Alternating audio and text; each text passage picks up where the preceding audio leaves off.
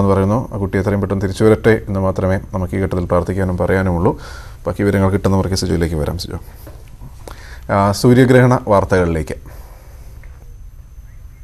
അതിനു മുമ്പ് പരീക്ഷകളുടെ പശ്ചാത്തലത്തിൽ ഇന്ന് ഞായറാഴ്ചകളിലെ പതിവ് സമ്പൂർണ ലോക്ക്ഡൌൺ ഇല്ല. മദ്യവിൽപ്പനശാലകൾ തുറന്നു പ്രവർത്തിക്കുന്നുണ്ട്. രോഗവ്യാപനം വർദ്ധിക്കുന്ന സാഹചര്യത്തിൽ സാമൂഹിക അകലം പാലിക്കുന്നുണ്ടോ എന്ന് ഉറപ്പുവരുത്താനുള്ള പരിശോധനകൾ പോലീസ് കർശനമാക്കി.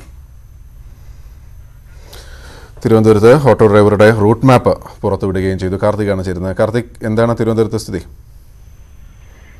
തിരുവനന്തപുരത്ത് സമ്പർക്കത്തിലൂടെ രോഗം ബാധിച്ചവർ ബാധിക്കുന്നവരുടെ എണ്ണത്തിൽ കഴിഞ്ഞ ദിവസം വർധനയുണ്ടായിരുന്നു. ഈ പശ്ചാത്തലത്തിൽ നിയന്ത്രണങ്ങൾ കൂടുതൽ കർശനമാക്കിയിട്ടുണ്ട്. അല്പം മുമ്പ് ജില്ലാ ഭരണകൂടം കഴിഞ്ഞ ദിവസം രോഗം സ്ഥിരീകരിച്ച ഓട്ടോ ഡ്രൈവറുടെ റൂട്ട് മാപ്പ് പുറത്തുവിട്ടു. ഇദ്ദേഹം സീരിയലിൽ ഗസ്റ്റ് ആർട്ടിസ്റ്റായി അഭിനയിക്കുന്ന ആൾ കൂടിയാണ്.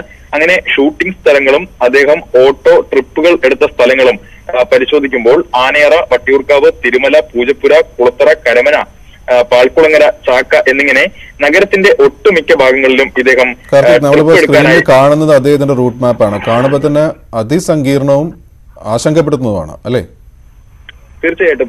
മുപ്പത് അഞ്ച് രണ്ടായിരത്തി ഇരുപത് മുതൽ രോഗം സ്ഥിരീകരിക്കുന്ന ജൂൺ പത്തൊൻപത് വരെ അദ്ദേഹം സഞ്ചരിച്ച റൂട്ട് മാപ്പാണ് ഇപ്പോൾ പുറത്തുവിട്ടിരിക്കുന്നത് വളരെ അധികം ആളുകളുമായി ഇദ്ദേഹം ഇടപഴകി. മറ്റൊരു പ്രധാനപ്പെട്ട കാര്യം ആദ്യഘട്ടത്തിൽ രോഗലക്ഷണങ്ങൾ ഉണ്ടായപ്പോൾ തന്നെ ഇദ്ദേഹം ഐരാണിമുട്ടത്തെ ഒരു പ്രാഥമിക ആരോഗ്യ കേന്ദ്രത്തിൽ പരിശോധനയ്ക്കായി എത്തിയിരുന്നു. അവിടെ നിന്ന് ഡോക്ടർമാർ അടിയന്തരമായി ജനറൽ ആശുപത്രിയിലേക്ക് പോകണം എന്ന് അദ്ദേഹത്തോട് ആവശ്യപ്പെട്ടതാണ്. പക്ഷേ ആദ്യഘട്ടത്തിൽ അദ്ദേഹം പോകാൻ തയ്യാറായില്ല. വീട്ടിലേക്ക് മടങ്ങി വന്നു. അതിനുശേഷം ആറ്റുകാലുള്ള ഒരു സ്വകാര്യ ആശുപത്രിയിൽ രണ്ട് ദിവസത്തിന് ശേഷം വീണ്ടും രോഗം കൂടുതലായതിനെ തുടർന്ന് പോയി.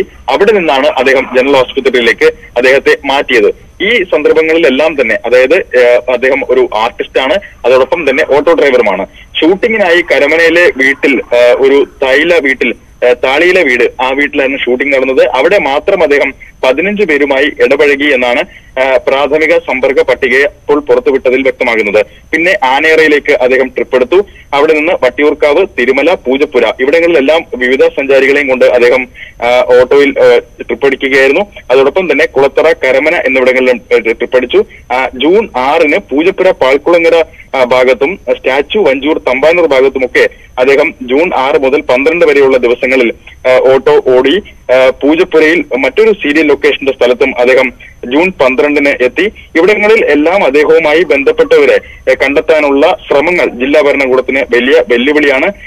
കാലടിയിൽ തിരുവനന്തപുരം കുളത്തറ കാലടിയിൽ ഒരു കരിക്ക് കടയിൽ അദ്ദേഹം കയറി കരിക്ക് കുടിച്ചതും ഒക്കെ ഈ- റൂട്ട് മാപ്പിൽ ഉണ്ട്.